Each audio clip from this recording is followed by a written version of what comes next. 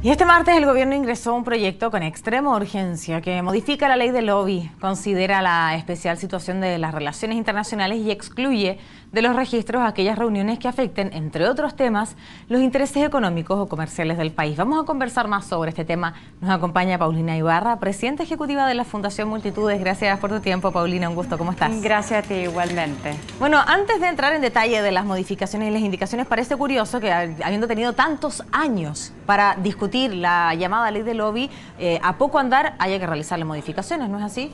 Mira, yo creo que más que nada eso al final y al cabo se ve como un valioso aporte. La autoridad quiere mejorar esta ley, hay que hacerlo. Este es un piso, es un comienzo y tenemos mucho por recorrer, ¿no? Y hablemos entonces directamente cuáles son las principales modificaciones que el Ejecutivo necesita incluir en, esta, en este proyecto. En general o las que se acaban de enviar el martes. Las que se dieron a conocer en el último, en el último tiempo. Bueno, los cambios eh, a, esta ley o el proyecto de reforma a esta ley que se envió el martes tiene relación con territorializar de una manera u otra dónde se ejerce el lobby. Entonces, el lobby solo se podría ejercer en territorio nacional. ¿Y eso que se ejerza solo en territorio nacional puede tener algún problema para precisamente normal el lobby? Mira, sabes que yo creo que hasta ahora el énfasis se ha puesto en el lado equivocado. Eh, la autoridad tiene la responsabilidad de transparentar las audiencias, tiene la responsabilidad de que estos registros se hagan públicos, pero también la ciudadanía, los lobistas, los gestores de intereses tienen una gran responsabilidad que es asegurarse de que estén registrados, asegurarse de que se transparente la audiencia, asegurar de transparentar sus intereses para que la ciudadanía pueda entender cómo se está influenciando la toma de decisiones públicas.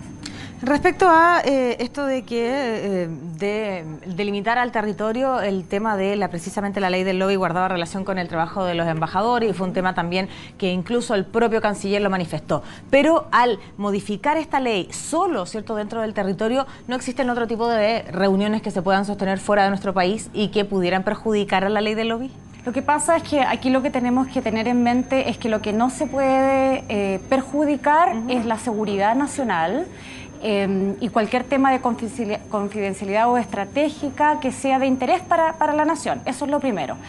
Luego de eso, nuevamente, cuando, uno, cuando, cuando una autoridad va fuera del país, cuando una autoridad invita a una comitiva de empresarios, lo importante es que ambos transparenten todo, todo lo que tenga, que eh, eh, tenga relación con las relaciones entre los privados, entre las empresas. Es ahí lo importante. Si yo me reúno con un canciller para hablar de, materias de interés nacional, mm, no, no, se ve la necesidad de que sea transparente, pero sí es importante que todo tipo de relación, todo tipo de conversación con el sector privado sí sea transparente, que, la, que las empresas transparenten sus intereses, transparenten a quienes están contratando para ejercer ese lobby. Nuevamente, nosotros creemos que es importante que nos enfoquemos en, lo, relevante acá, que es los lobistas, los gestores de intereses tienen la obligación por ley de transparentar sus intereses, las audiencias, el objetivo de esta audiencia y la incidencia que quieren lograr. Y por otro lado, la autoridad tiene la eh, responsabilidad de transparentar esta información. Respecto a lo mismo, esta ley está muy centrada en el sujeto pasivo más que en el sujeto activo. ¿Eso es una dificultad? Absolutamente, porque resulta que cuando el sujeto activo, que es el que ejerce el lobby, el lobista, no, el lobista no, no sigue la ley, eh, se comete una violación, hay una sanción, debe haber una fiscalización y debe haber una sanción. Y hoy en día esa fiscalización y esa sanción se hace solo a la autoridad, solo al sujeto pasivo. Si yo como, eh, como gestora de intereses cometo un error eh, o no sigo la ley, no hay forma de, ah, se puede fiscalizar, etcétera, etcétera, pero la Contraloría no tiene ningún tipo de, capacidad para sancionarme. Conociendo eh, experiencias de otros lugares donde también tengan regulado el lobby, eh, ¿esto actúa de la misma manera o existe la posibilidad y existen muchas formas de poder, en este caso, también centrar la ley en el sujeto activo?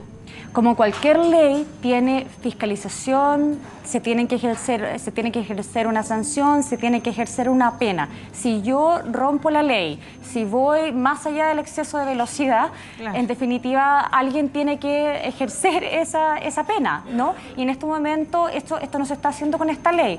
Esta ley es un gran avance en términos de transparencia y probidad, no nos podemos olvidar de eso. La importancia de esta ley es que está transparentando los registros de los registros de conversaciones entre la autoridad y un lobista o un gestor de intereses. Eso es muy importante, pero tenemos un largo camino eh, para recorrer y nuevamente aquí el énfasis se está poniendo en el sujeto equivocado. Claro, hablando una vez más, ¿cierto?, del énfasis está en el sujeto pasivo, es decir, la autoridad y esta eh, obligación que tiene de transparentar todas sus actividades públicas. Bueno, ¿te parecen que las modificaciones que se han introducido y que ha introducido el Ejecutivo aportan a mejorar esta, esta ley que, de acuerdo a lo que tú nos indicas, Paulina, tiene mucho por mejorar? Tiene, bastante por mejorar, pero nuevamente eh, es todo paso a paso. La ley se acaba de implementar hace un mes y medio, todavía faltan toda, toda la parte de implementación a nivel de eh, regiones, de Ceremis, luego viene todo el área de municipales. Entonces, en la medida en que vamos avanzando y que se va viendo cuáles son las necesidades, se tiene que ir reformando. En algún momento eh, la responsabilidad la tendrá el Congreso de abrir este debate y poder ver cuáles son los vacíos que actualmente tiene esta ley y trabajar en conjunto con la sociedad civil para mejorarla. Aquí hay un tema de corresponsabilidad del cual nos olvidamos por completo. Aquí Dime. Cuando hablamos de la territorialidad, y a ver si tú nos explicas también cuáles son las modificaciones que en este caso ha introducido el Ejecutivo, eh, se daba cuenta de la situación que tenían los diplomáticos y era la primera preocupación legítima, además que en este caso daba a conocer el canciller en el momento en que se aprueba esta ley. Pero ahora, si es que tú ponías el ejemplo, hay una comitiva Viajan autoridades fuera de nuestro país, ocurre con frecuencia, la presidenta invita a miembros de distintos gremios, incluso empresarios, y se encuentran con eh, autoridades de distinta índole. Ellos pueden, eh, a lo mejor, pactar una reunión y sin necesariamente aclararla en, este registro que tiene que tener, en este caso, el sujeto pasivo. ¿Puede él omitir esa reunión con, por ejemplo, algún empresario porque fue materializada fuera de Chile? Si la autoridad cree que esto podría llegar a afectar la seguridad nacional, los intereses de la nación, sí, por supuesto. Ahora, em, si... Pero entonces queda solo a su criterio. Es que el, criterio de la autoridad en este momento, a, ver, la autoridad tiene el deber de transparentar y publicar todo este tipo de información, siempre y cuando, y la ley lo dice muy claramente, esto no afecte los intereses de la nación. Ahora, si el empresario pide una reunión con la autoridad para hablar sobre un tema que tiene que ver con cualquier decisión que tenga que tomar la autoridad, bueno, ahí la culpa es, muy clara. La culpa es del empresario que está pidiendo una reunión sin esperar a volver al territorio nacional, sin usar el registro de audiencia. Es decir, se quiere ir por el lado para hacer un trabajo que se puede hacer de una manera muy formal y muy transparente en territorio nacional. Claro. ¿Cómo has visto tú la puesta en marcha de este mes y medio de eh, la ley de lobby? Creo que falta, eso sí, te puedo decir que falta mucha capacitación. Yo creo que eh, hay que hacer un trabajo mucho más riguroso con relación a cómo podemos capacitar mucho mejor a las autoridades, a la ciudadanía en general, a la sociedad civil. Yo sé que han hay organizaciones de la sociedad civil que hoy en día están ofreciendo capacitación. Por ejemplo, Ciudadano Inteligente ha ofrecido capacitación a, las autoridades. Nosotros como Fundación Multitudes también estamos ofreciendo capacitación a nivel de municipios, eh, en donde creemos que hay que hacer un trabajo permanente y muy profundo. Entonces yo creo que falta capacitación. Yo sé que eh, se está haciendo ese trabajo a nivel de autoridad, yo sé que el gobierno está trabajando con la División de Organizaciones Sociales, tratando y continuando en, la implementación y en la capacitación de, esta ley. Y, creo que va a seguir mejorando. Yo creo que el, gran, yo creo que el gran punto en este momento es continuar educando no solo a la ciudadanía, pero también a las autoridades, a los empresarios, a, aquellos que son, que, son lobistas pagados, para que sepan cómo utilizar la ley de la mejor manera posible y de la, manera más transparente posible. Bueno, vamos a seguir hablando, ¿cierto?, en lo que queda de, tiempo respecto a esta ley de lobby. No quiero despedirte sin antes preguntarte de otro tema.